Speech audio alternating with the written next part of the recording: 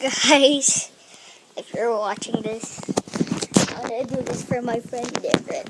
He wants to, me to make a video. So,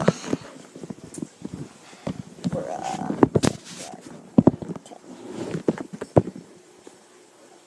Turn this for you. Uh, God damn it. God damn it.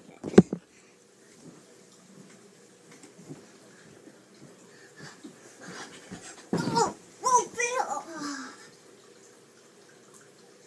Oh, that, that hurt me so bad.